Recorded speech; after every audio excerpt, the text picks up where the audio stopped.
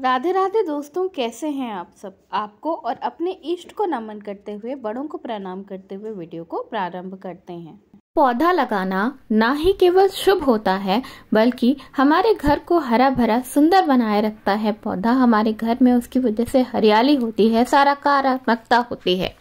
कुछ पौधे हमारे घर के लिए बहुत ही शुभ होते हैं तो वहीं कुछ पौधे ऐसे भी होते हैं जिन्हें की वास्तु शास्त्र के हिसाब से अशुभ बताया गया है और ऐसा माना जाता है कि उनके होने की वजह से हमारे घर की तरफ़ बीमारियाँ, दोष खिंचे चले आते हैं और उनकी वजह से हमारे घर में नकारात्मकता आती है। दोस्तों, कहा जाता है कि जिस घर के जस्ट सामने, यानी घर के गेट के सामने अनार का पेड़ लगा होता है, उस घर पे भगवान विष्णु और माता लक्ष्मी की कृपा सदैव के लिए बनी रहती है। घर में आंवले का पौधा लगाना भी अत्यंत शुभ माना जाता है। ऐसी मान्यता है कि आंवले में भगवान विष्णु का वास होता है और जहाँ भगवान विष्णु होते हैं, वहाँ तो माता लक्ष्मी की कृपा बनी ही रहती है। इसी तरह घर में अपराजता का पौधा लगाना भी अत्यंत शुभ माना जाता है। क्या आप जानते हैं, अपराजता का पौधा बहुत सारे देवी देवताओं के साथ साथ शनि देव को भी अत्यंत प्रिय होता है और जिस घर में अपराजता का पौधा होता है, उस घर में शनि देव की भी कृपा बनी रहती है।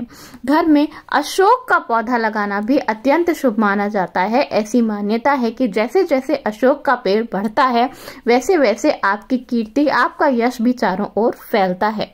घर में गेंदे का पौधा लगाना भी अत्यंत शुभ माना जाता है। ऐसी मान्यता है कि गेंदे का पौधा लगे रहने से आपके घर में सुख, शांति और समृद्धि का वास होता है। गुलाब का पौधा लगाना भी बहुत ही शुभ माना जाता है। यूँ तो ऐसा बोला जाता है कि घर में कांटेदार पेड़ नहीं लगाने चाहिए, लेकिन गुलाब का पौधा लगाना भी घर में अत्यंत शुभ माना जाता है।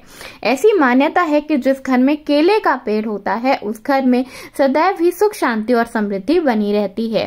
जिस घर में तुलसी का पेड़ होता है, उस घर से कभी भी माता लक्ष्मी नहीं रुकती, उस घर पे सदा ही माता लक्ष्मी की कृपा बनी रहती है। ऐसी मान्यता है कि अगर आपके घर पे कोई संकट आने वाला है, कोई बीमारी आने वाली है, कोई दोष आने वाला है तो घर के सदस्यों से पहले वो दोष माता तुलसी अपने ऊपर ले लेती हैं और तुलसी का पौधा भले ही सूख जाए, लेकिन आपके घर पर विपत्ति नहीं आती। घर में हल्दी का पौधा लगाना भी अत्यंत शुभ होता है। हल्दी जितनी ज़्यादा शुभता से भरी होती है, उतना ही ज़्यादा ये एक एंटीसेप्टिक भी होती है, जिसकी वजह से आपके घर का वातावरण शुद्ध होता है और आपके घर में किसी भी तरह की बीमारी नहीं आती। घर में कांसे का पौधा लगाना भी अत्यंत शुभ माना जाता है। कांसे के फूल भगवान शिव के साथ साथ भगवान गणेश को भी अति प्रिय होते हैं और जहाँ भगवान गणेश खुश होते हैं, वहाँ शुभता का तो कहना ही क्या? घर के आसपास नारियल का पेड़ लगा होना भी अत्यंत शुभ माना जाता है। नारियल का पेड़ लगा होने से आपके घर में सुख, शांति और समृद्धि आती है। घर के आसपास नीम का पौधा लगा होना भी बहुत ही शुभ माना जाता है। लेकिन घर के आसपास नीम का पौधा इस तरह लगा होना चाहिए कि वो आपके घर के ईशान कोण की तरफ़ ना लगा हो, ताकि वो जो कोना है वो भारी ना हो। बाकी किसी भी कोने में और सबसे अच्छा होगा कि वो दक्षिण की तरफ़ हो, ताकि आपका दक्षिण का पार्ट जो है वो भारी हो जाए, जिसकी वजह से आपके घर में वास्तु बैलेंस जो है वो बना रहे। तो ये हुई बात कुछ पेड़ों की, जिन्हें की वास्तु शास्त्र के हिसाब से लगाना अत्यंत ही शुभ माना जाता है। वहीं कुछ ऐसे पेड़ होते हैं, जिन्हें हमें अपने घर के अंदर क्या आसपास भी नहीं लगाना चाहिए। ऐसी मान्यता है कि नीम और बरगद, ये दोनों ही पेड़ हमें अपने घर में नहीं लगाने चाहिए। अगर आपके घर में या घर के आसपास भी ये पेड़ लगे हों तो उन्हें हटवाने का कुछ ना कुछ तरीका निकालना चाहिए। उन्हें हटाकर आप मंदिर में लगा दें, किसी बड़े बगीचे में लगा दें, लेकिन घर के आसपास बरगद और पीपल का पेड़ लगा होना नहीं चाहिए। वहीं कैक्टस का पौधा देखने में जितना ही ज़्यादा सुंदर होता है, उतना ही ज़्यादा उसे अशुभ वास्तु शास्त्र में बताया गया है। ऐसी मान्यता है कि अगर आप अपने घर में, अपनी बैल्कनी में या अपने छत पर भी कैक्टस का पौधा लगाते हैं तो वो आपके घर की उन्नति को, प्रगति को रोक देता है। इसी तरह आजकल बहुत ज़्यादा फ़ैशन में है बोनजाई पौधा। लेकिन क्या आप जानते हैं बोनजाई का मतलब ही होता है कि किसी चीज़ को प्राकृतिक रूप से बढ़ना? को रोक देना। ऐसा करना अत्यंत ही अशुभ होता है। ऐसा बिल्कुल भी नहीं करना चाहिए। इस तरह के पौधे अगर आप अपने घर में लगाते हैं तो आपके घर की तरक्की रुक जाती है। इसी तरह शास्त्रों में बताया गया है कि हमें अपने घर के आसपास या घर के अंदर इमली का पौधा नहीं लगाना चाहिए।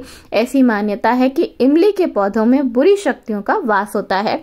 इसलिए इमली के पौधे को अपने घर के आसपास नहीं लगाना चाहिए। मान्यता है कि अपने घर में बहुत बड़े फलदार पौधे भी नहीं लगाने चाहिए। वो हमारे घर के बच्चों की उन्नति को, तरक्की को रोक देते हैं।